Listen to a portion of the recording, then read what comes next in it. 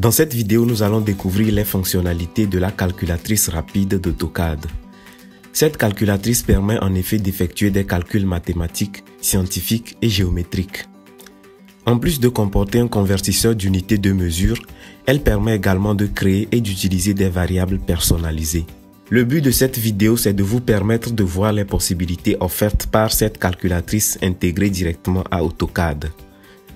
Cela vous évitera par exemple pendant que vous dessinez de quitter AutoCAD pour la calculatrice de votre système, que ce soit Windows ou macOS, ou d'ouvrir une feuille de calcul Excel, ou encore aller chercher la machine à calculer logée au fond de votre sac ou perdue dans un tiroir de votre bureau. Et vous le savez, toutes ces actions effectuées de façon répétée peuvent constituer une véritable perte de temps. Rentrons dans le vif du sujet. Comment accéder à la calculatrice rapide d'AutoCAD? Pour cela, nous avons deux options. Nous pouvons soit utiliser le bouton Calculatrice rapide qui se trouve dans le groupe utilitaire de l'onglet Début d'AutoCAD, soit utiliser la commande Calque rapide. Elle s'écrit Calque rapide. Ensuite, j'appuie sur la touche Entrée. Et voilà la calculatrice rapide qui est ouverte. Son nom est affiché ici, Calque rapide. Quelles sont les différentes parties de cette calculatrice? D'abord, au-dessus ici, nous avons la barre des boutons d'opération courante. Ensuite, nous avons la zone de l'historique des calculs, la zone de saisie, le groupe des mots de la calculatrice parmi lesquels le pavé numérique, pour les calculs standards, la calculatrice scientifique, le convertisseur des unités et la zone des variables. Voyons à présent de façon pratique le fonctionnement de la calculatrice rapide d'AutoCAD. D'abord, au niveau du pavé numérique, nous pouvons effectuer des calculs standards. Je peux par exemple effectuer le calcul 20 plus 21 et qui donne 41. Là, comme je le disais, vous avez la zone de l'historique ici qui affiche le calcul que je viens d'effectuer, 20 plus 21 qui donne 41 et la zone de saisie ici. Ensuite, au niveau de la calculatrice scientifique, je vais effectuer une opération simple. Et avant cela, je vais d'abord effacer le contenu de la zone de saisie ici. Je peux calculer par exemple le sinus d'un angle. Pour cela, je clique sur sinus et je vais au niveau de la zone de saisie. Dans la parenthèse, je vais saisir 30. Puis j'appuie sur la touche entrée. Et là, nous obtenons la réponse. Le sinus de 30 degrés, ça fait 0,5. Ensuite, nous avons le convertisseur d'unité. Avec le convertisseur d'unité, vous pouvez effectuer des conversions de longueur, d'air, de volume et des conversions angulaires. Et je vais par exemple convertir une valeur initialement en mètres carrés en pieds carrés. Au niveau de la case valeur à convertir, par exemple, je vais saisir la valeur 10, puis appuyer sur la touche entrée. Et là, j'obtiens la réponse 10 mètres carrés, ça fait 107,6 pieds carrés. Avant de revenir aux variables ici, je vais d'abord aller au niveau de la barre des boutons d'opération courante pour voir ce qu'il y a là-bas. Au niveau de cette barre, nous avons d'abord le premier bouton qui permet d'effacer le contenu de la zone de saisie. Et au niveau de la zone de saisie, actuellement, il y a la valeur 0,5. Pour l'effacer, il me suffit juste de cliquer sur le premier bouton ici. Et le contenu de la zone de saisie est réinitialisé. Ensuite, nous avons le deuxième bouton qui permet d'effacer l'historique des calculs. Si je clique dessus, là, nous avons le contenu de l'historique des calculs qui est automatiquement nettoyé. Le troisième bouton permet de coller une valeur sur la ligne de commande ici. Ce bouton permet en fait de coller un résultat que vous venez d'obtenir par calcul au niveau de la ligne de commande. Je vais reprendre le calcul que j'avais effectué tout à l'heure, c'était 20 plus 21. Et là, j'obtenais 41. Si par exemple 41 correspondait à la valeur du rayon d'un cercle que je voulais construire, au moment de la construction de ce cercle, je vais d'abord appeler la commande cercle. Au moment de la construction de ce cercle, si je spécifiais par exemple le centre du cercle et qu'on me demande le rayon du cercle, Au lieu de saisir la valeur que je viens d'obtenir par calcul ici, il me suffira pour cela de cliquer sur le bouton coller. Et là, vous voyez la valeur 41 qui est collée au niveau de la ligne de commande ici. Puis j'appuie sur la touche entrée. Je peux vérifier le rayon du cercle que je viens de construire avec l'outil cotation radiale. Et je choisis le cercle, puis j'appuie sur la touche entrée. Là, vous voyez R41. Ensuite, nous avons le quatrième bouton de la barre des boutons d'opération courante ici et qui est le bouton permettant d'obtenir les coordonnées d'un point. Si je veux par exemple obtenir les coordonnées du point d'intersection de ces deux segments, il me suffira de cliquer sur ce bouton, puis aller rechercher l'intersection ici en cliquant dessus. Et là, j'ai les coordonnées du point d'intersection qui me sont renvoyées ici entre les crochets. J'ai d'abord l'abscisse X, l'ordonnée Y et la côte Z qui est égale à 0 ici parce que nous nous trouvons dans le plan XY. Et j'ai la possibilité de vérifier ces coordonnées en allant au niveau du groupe utilitaire. Je clique sur la flèche ici et je clique sur le bouton localiser un point. Ensuite, je vais au niveau de l'intersection, puis je clique là-dessus. Je vais d'abord agrandir la ligne de commande ici. Et là, vous voyez les coordonnées du point que je viens de sélectionner. Nous avons d'abord l'abscisse X, l'ordonnée Y et la côte Z. Et ces coordonnées correspondent exactement à ce qui est renvoyé au niveau de la zone de saisie ici.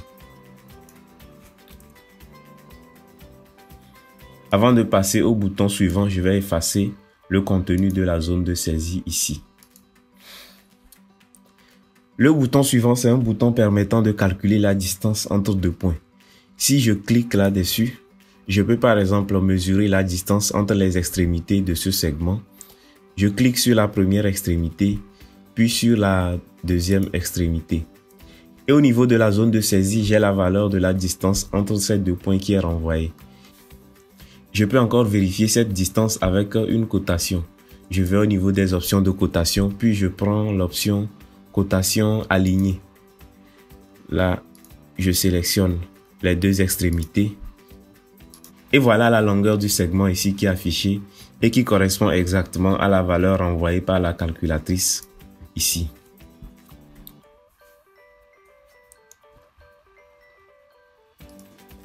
Avant de passer au bouton suivant, je vais effacer le contenu de la zone de saisie ici.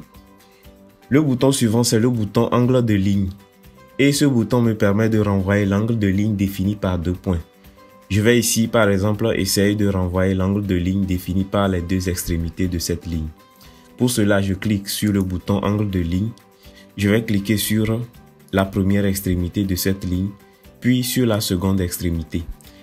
Et là, j'ai la valeur de l'angle qui est renvoyée par la calculatrice ici. Et cette valeur, elle correspond à la valeur de l'angle entre cette ligne et une ligne horizontale ici. Je vais vous montrer concrètement l'angle qui a été renvoyé par la calculatrice ici. Pour cela, je vais dessiner d'abord une ligne qui va être horizontale ici. Ensuite, je vais aller utiliser l'outil cotation angulaire. Pour cela, je sélectionne ces deux lignes ici. J'affiche l'angle ici. Et la valeur de l'angle ici, c'est 38. Et elle correspond à la valeur envoyée par la calculatrice ici. Au niveau de la calculatrice, il y a les décimales qui sont ajoutées, alors qu'au niveau de la cotation, c'est l'angle arrondi. Avant de passer au bouton suivant, je vais encore effacer le contenu de la zone de saisie ici. Le bouton suivant, c'est le bouton intersection de deux lignes définies par quatre points. Ici, par exemple, je vais essayer de déterminer l'intersection définie par ces deux lignes. Et pour cela, je clique sur le bouton intersection et il m'a demandé d'entrer le premier point. Ici, ce qui est important à noter, c'est que les points que vous allez entrer doivent suivre exactement l'ordre du dessin des lignes. Je vais entrer le premier point qui se trouve sur le premier segment, puis le second point du premier segment. Ensuite, je vais entrer le premier point du deuxième segment et l'extrémité du second segment. Et là, j'ai les coordonnées de l'intersection ici qui me sont renvoyées. Je peux encore vérifier les coordonnées de ce point d'intersection en allant au niveau des utilitaires ici, puis en cliquant sur le bouton localiser un point. je vais aller ensuite localiser le point d'intersection de ces deux segments ici. Et les coordonnées de ce point d'intersection me sont renvoyées au niveau de la ligne de commande ici. Si vous ne les voyez pas, vous pouvez toujours agrandir la ligne de commande. Nous avons enfin le dernier bouton de la barre des opérations courantes et qui est le bouton Aide. Avec ce bouton, vous aurez accès à toute l'aide concernant la calculatrice. Actuellement, je n'ai pas accès à Internet, c'est pour cela que cette aide n'est pas affichée. Passons à présent à la dernière partie de cette calculatrice et qui est la partie des variables. De façon brève, ce que vous devez comprendre, c'est que les variables ici sont en quelque sorte des fonctions. Si je prends par exemple la variable DEE, e, elle me permet de renvoyer la distance entre deux points. La variable MEE e me permet de renvoyer le milieu entre deux extrémités. Et la variable RAD me permet de renvoyer le rayon d'un cercle ou d'un arc. Ici, nous allons voir pour l'exemple le fonctionnement de la variable DEE. E. Pour cela, je vais d'abord effacer le contenu de la zone de saisie ici. Ensuite, je vais faire un double clic sur DEE. E. Et au niveau de la zone de saisie, la syntaxe de cette variable est affichée. Et elle s'écrit dist, parenthèse, end, end. Pour cette variable DEE, e, les termes end désignent les points entre lesquels je veux mesurer la distance. Pour l'exemple ici, je vais mesurer la distance entre les extrémités de ce segment. Pour cela, je vais retourner au niveau de la syntaxe de la commande DEE, e, je vais effacer le premier end et à la place, je vais mettre les coordonnées du premier point ici. Pour cela, je clique sur le bouton obtenir les coordonnées, puis je vais obtenir les coordonnées du premier point ici en cliquant. Et là, les coordonnées de cette première extrémité me sont renvoyées. Ensuite, je vais remplacer le second terme end par les coordonnées du deuxième point. Je clique sur le bouton d'obtention des coordonnées puis je vais au niveau de la seconde extrémité ici. Et là, les coordonnées du deuxième point me sont renvoyées. À la fin, il me suffit juste d'appuyer sur la touche Entrée et j'ai la distance entre ces deux points qui m'est renvoyée. Et cette distance, elle correspond exactement à ce qu'on avait mesuré avec euh, la cotation ici. Et voilà, vous maîtrisez à présent le fonctionnement de la calculatrice rapide d'AutoCAD. Vous pouvez l'utiliser pour effectuer toutes les opérations proposées par cette calculatrice au lieu de quitter AutoCAD pour une autre application, action qui effectuée de façon répétée vous fera perdre du temps. Et si vous venez de me découvrir, n'hésitez pas à vous abonner. En ce moment, je publie trois vidéos par semaine dans lesquelles je partage des techniques et astuces utiles et parfois cachées pour vous permettre d'utiliser de façon optimale les fonctionnalités proposées par ce formidable outil de dessin qu'est AutoCAD. Et surtout, n'oubliez pas, gardez votre singularité et restez créatif.